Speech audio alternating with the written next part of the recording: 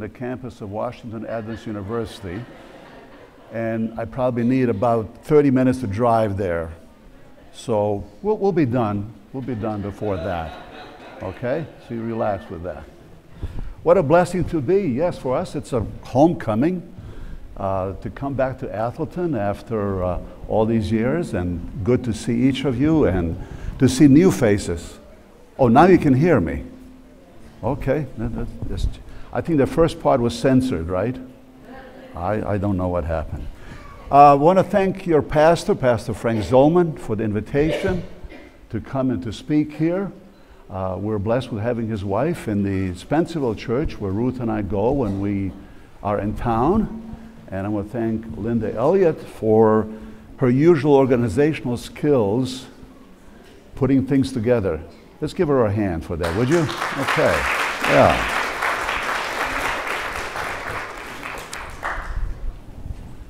Mary was a teenage girl of about 15 years old, and uh, she wrote a letter to her father. Mary actually wrote it in cursive letters. How many of you know what cursive letters are? I understand that's not being taught anymore. Cursive letter. She wrote a letter to her father. I have a copy of it. And I'm not going to read the whole letter. We don't have time to do that. But the part that I want to read is when she says to her father, P.S. The letter is over, but there's something very important she wants to tell him. She says to him in her letter, Bring us home a loaf of German bread. Ours is awful sour. We have a loaf which I guess will last the week. When, the way she writes it, it will last a week. I wish it wouldn't last a week, but I guess it will. She, Mary, was Mary Andrews, the daughter of J. N. Andrews, the first official Seventh Adventist missionary to go from the United States overseas. J. N. Andrews was a widower. His wife had died, but he and his, their two children, Mary and Charles, left the United States, went to Britain, went to the continent to begin the Seventh Adventist work in Europe. He was at that time holding evangelistic meetings in Germany. And for some reason, the children didn't like the Swiss bread. I don't know why. I've been to Switzerland. I think their bread is okay, but they didn't like for it. And so she was pleading with her father to bring some bread from Germany. The church, our church, your church, our Adventist church worldwide, is made up of all kinds of people from all kinds of countries, languages, age groups. We are truly an international church. Today, you have designated it as International Sabbath Day. I commend you for that. It's wonderful that you have done that. And I want to leave with you really just two points. Two points. I know in college and seminary they tell us to have a three point sermon, but you, I understand, are a very receptive group. Two points will do today. During lunch, you can figure out the third one if you want to. All right? I want to leave two points with you. And that is we have different languages, we look differently, we have different views, we eat different food. But I want to tell you something. We have to focus on what is really, really important. What is really important. And J. N. Andrews was one of those people who figured out what is important. On one occasion, he received a letter from Germany from a group of people who were Sabbath keepers. They, they, they somehow stumbled upon the idea of the Sabbath. There was no Seventh Adventist church there, there was no Seventh day Baptist church there. But they came upon it and they heard about him and said, Would you come and hold lectures for us on the Sabbath? J. N. Andrews, by the way, left the United States 150 years ago this year. 150 years one of the, one of the brightest stars that the Adventist church has ever had. One of the brightest stars, an extraordinary individual. Wrote a great book on the Sabbath. If you have occasion, you can still find copies of it, reprints. Get hold of that book. J. N. Andrews responds that he will come. He goes to Germany, and sure enough, there were 300 to 350 people who wanted him to come and lecture. I've done a lot of evangelistic meetings in different parts of the world, and when you have 350 people there, you're thrilled. But there was something unusual. J.N. Andrews lectured to 350 pe- uh, Germans there, with them sitting there drinking beer and smoking.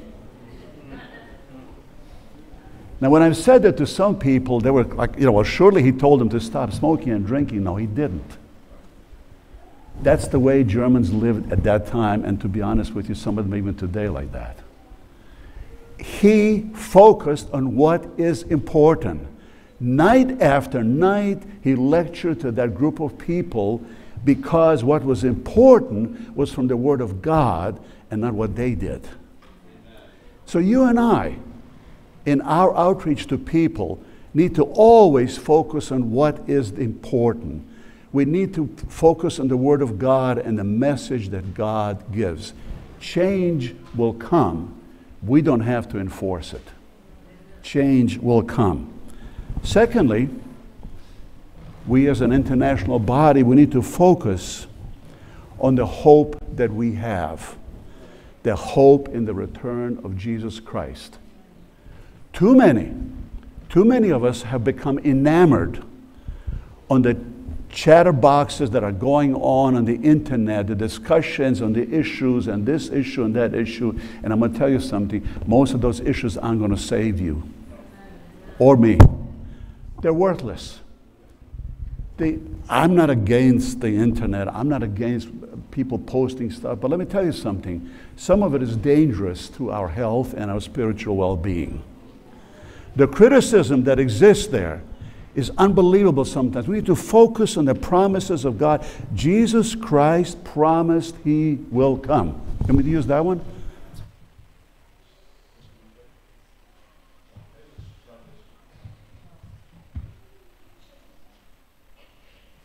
All right, how's this?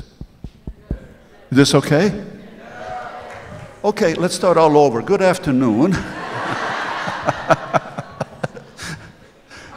Remember, four o'clock, so relax. I want you to relax. I want you to relax. Just, just don't, don't, don't worry about it. We, we need to focus on what is important. What is important to me is yes, Jesus Christ is coming back again. And it's not because what we do, but because what God promised. Sometimes we focus a little bit too much as if Jesus cannot return until we do this, this, and this. I don't believe that. Jesus will come at the appointed time. That doesn't mean that we should not be missionaries, that we shouldn't share our faith. I'm not saying that at all.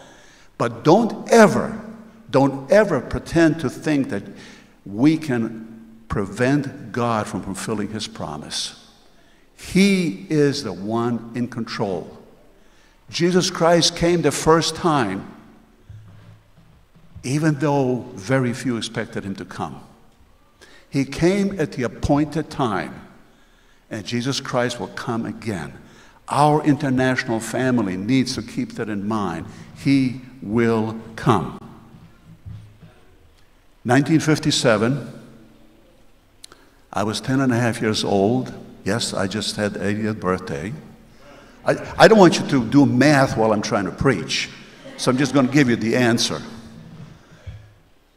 January 19, 1957, my parents and I came from Germany as immigrants to the United States. We came to New York City, not on the Queen Mary or Prince this or Prince that, on a troop ship. That's how immigrants came in those days on a gray painted troop ship. All they did is they took off the guns from the ship and put metal plates over where the guns used to be. Otherwise, the color was the same. We had the same bunks to sleep in, no staterooms. We had three or four or five bunks. Men and women were separated. The floor was metal. And during the night, when the ship was rolling and we went through quite a storm, the men were falling out of those cots on the floor and saying all kinds of nasty words. I did not have to worry because above me was a guy who was overweight and he kind of pinned me down. And so I was safe. It's like having a human seat belt. We made it across, came to New York City that Saturday evening, January 19, 1957. We possessed two things a suitcase made of aluminum from a shot down American airplane that my father made while we were in the concentration camp. And secondly, a little box. That's all we had. We got off the boat. They took us to the train.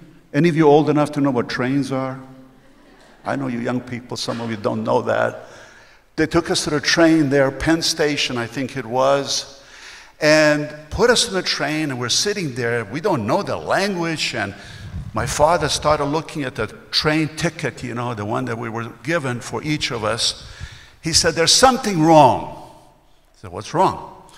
I don't see the word Baltimore. We were destined to go to Baltimore. Baltimore at that time had a, quite a large German population. Immigrants usually end up going to cities or places where there are other similar immigrants. Isn't that true? That's not unusual. So my father said, Something is wrong here. So he found a lady, a Red Cross worker who spoke German. He said to the lady, There's a mistake here on our ticket. She said, Why? Well, it, says, doesn't say Baltimore here. Well, she said, Let me check. She, like a good bureaucrat, went through her clipboard there and she said, Well, you're not going to Baltimore. Where are we going? Uh, she said, You're going to Richmond. My father said, Richmond. Where is Richmond? Uh, Virginia. He said, Where is Virginia? And she explained to us. Somehow our papers got mixed up with somebody else's papers. We came the morning of January 20th, Sunday morning, to Richmond. They made arrangements for somebody to pick us up. And they picked us up, took us to their house, rented us a couple of rooms at a high rate. And there we are. We didn't know the language, we didn't know anybody in that community at all. The man asked us, What church do you belong to? Well, we were not Seventh Adventists. We were Sabbath keepers and similar in many ways, but we were not members of the Seventh Adventist church at that time. But he called the pastor of the Seventh Adventist church. And that Friday night, that pastor, Stuart R. Jane, came to visit us. Our first reaction was, How are we going to talk to this man? Because we don't know the language. Fortunately, or maybe God planned it that way, his wife was German born, came to the United States when she was about 18 or 19. And so she translated. God does things in an interesting way sometimes, doesn't he?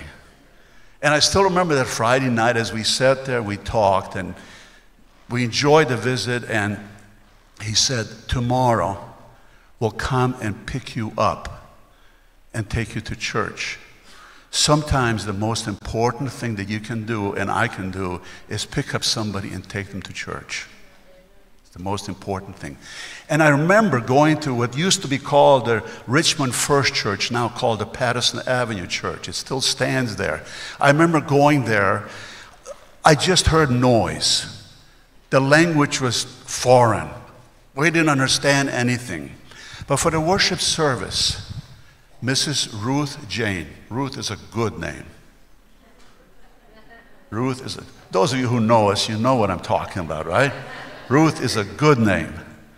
And Ruth Jane said among us there and translated for us.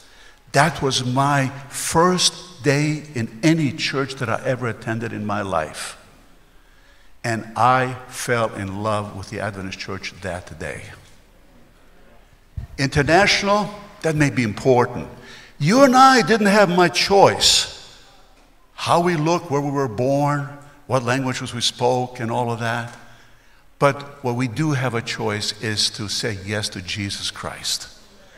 That is the most important thing in our life. Ellen White has a statement that I want to share with you. It's a wonderful one. As members of the body of Christ, all believers are animated by the same spirit and the same hope. Did you hear that? As members of the body of Christ, all believers are animated by the same spirit and the same hope. I've had the privilege to probably go to some 75 or 80 countries on behalf of my work that I was doing when I was at the General Conference for various things preaching, teaching, and so on.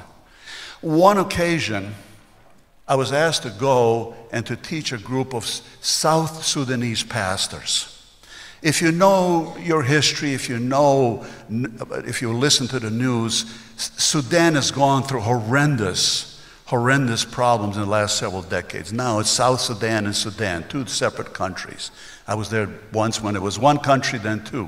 But when it was separated, they did not allow me to go into South Sudan. They brought the pastors I was to teach into Arua, Uganda, way in the northern tip, right near Sudan. And I want to tell you something. Those pastors have been, were isolated for many, many years. Sudan did not have much contact with the rest of the world. And we spent the time together going over the history of the Reformation and what it means to us as Seventh day Adventists. That experience taught me once more the importance of belonging together to the same Lord Jesus Christ, no matter what the language is, no matter how we look, no matter what we do. I still have in my mind a vivid picture of those students in that classroom.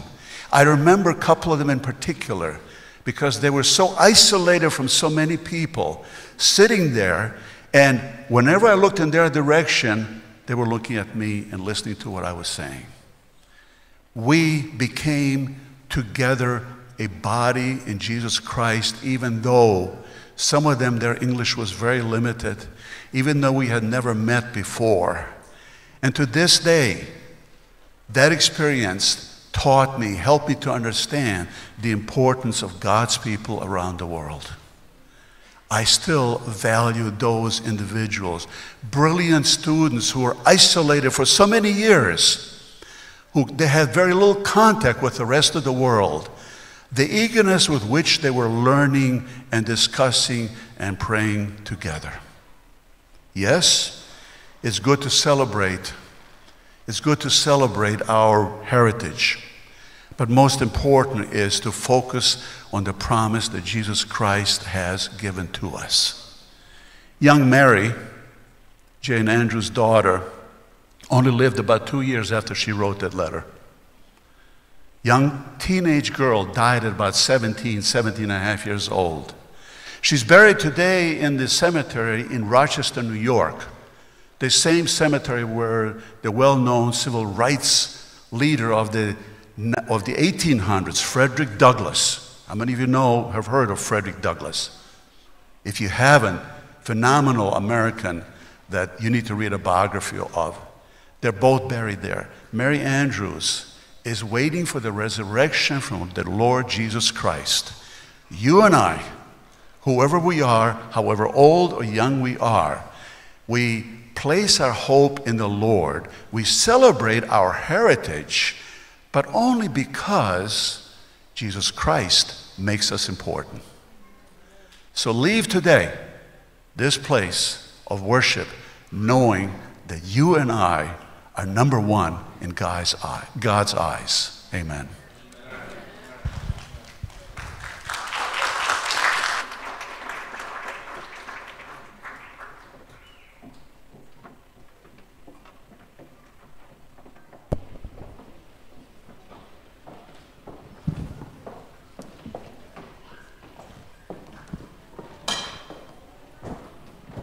All right, if you've been blessed today by this service, say a big amen. amen. All right, please stand with us as we read responsively.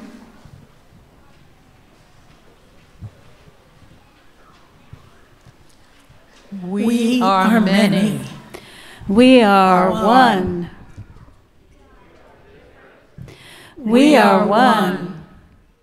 We are unique. We are one. We, we have, have conflicting, conflicting ideas, opinions, and interests. We look past selfish inclinations to see and attain that which is good for the whole. We sacrifice selfish passions, preferences, and prejudices. to find and build on common ground. We emphasize our commonness, the things that hinge us together. Instead of dying on hills that divide us. This is Atholton, with Jesus as our guide. We are a church that walks in a manner worthy of its calling. We are Atholton and look forward to standing on the sea of glass before God's throne together.